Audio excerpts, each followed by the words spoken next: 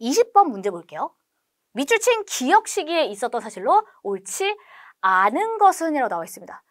제일 많이 틀렸고요. 그 오답률이 한 70%가 넘습니다. 굉장히 많이 틀렸어요.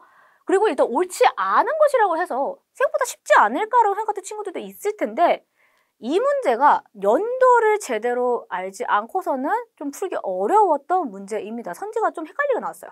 자, 일단 볼게요. 베를린 장벽이 무너지다. 라고 나와 있습니다.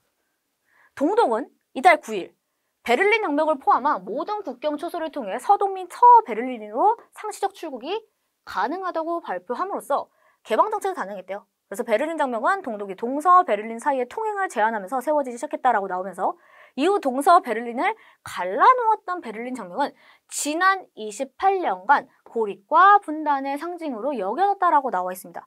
즉 동독과 서독이 분단되었다가 통일되는 과정을 베를린 장벽을 통해서 설명을 하고 있는 것인데 베를린 장벽 자체가 소련이 베를린 봉쇄한 다음에 1961년에 베를린 장벽을 세우게 됩니다. 그리고 이제 냉전이 쭉 전개가 되다가 결국에 냉전이 완화, 완화되고 해체되는 과정에서 1989년에 붕괴가 되는데요. 실제로 지난 28년과도 일치하죠. 사실 여기까지만 봤을 때는 아 이거 쉽네 라고 생각하는 친구들이 많을 겁니다. 다만 선지가 어렵게 나왔어요. 굉장히 그 시기가 붙어서 출제가 됐거든요. 그럼 일단 우리가 좀 잘 아는 선지부터 지워보도록 할게요.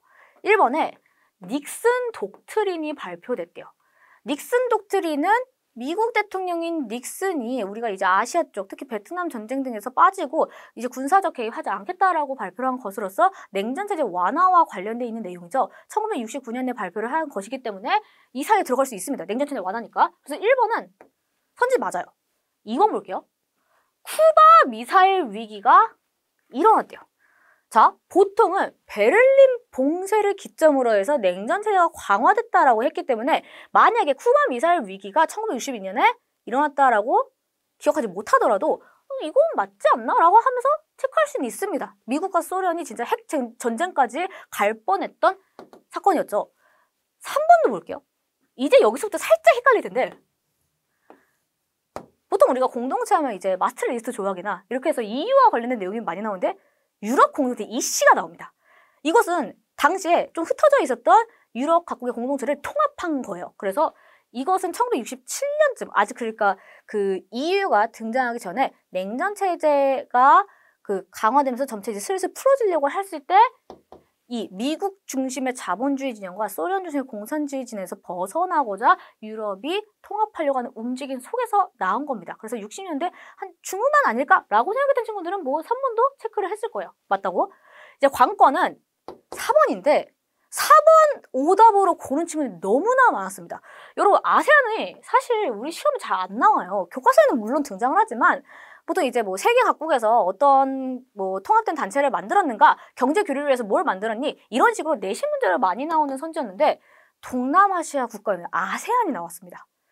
아세안이 언제 만들어졌는지 사실 여러분들이 기억을 잘안 했을 겁니다.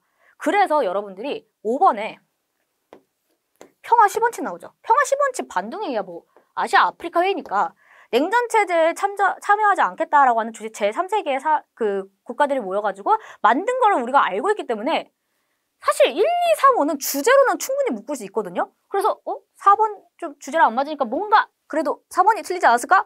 라고 체크를 했더니 틀렸을 거예요. 왜냐하면 유럽 공동체 결성이랑 동남아시아 국가연 결성 연도가 똑같습니다. 근데 보통 이렇게 유치하기 너무 힘듭니다. 5번이 틀렸어요. 왜냐? 5번. 반등회의는 1955년에 개최가 되고 이때 평화 10 원칙을 채택을 하게 됩니다. 사실 평화 10 원칙이라는 즉 반등 회의가 이미 우리 시험에 나온 적이 있습니다. 워낙 자주 등장하고 다만 그때 이 반등 회의의 개최 연도를 복습하면서 파악하지 못했더라면 이 문제는 틀릴 가능성이 매우 높았던 문제였습니다. 그래서 20번의 정답은 5번이고요. 20번의 경우는 그 등장하는 내용이 쉬워요. 그런데 선지가 너무 지역적이고 어렵게 나온 부분이 있기 때문에 연도의 중요성이 좀 커졌다라는 것을 확인할 수 있었습니다.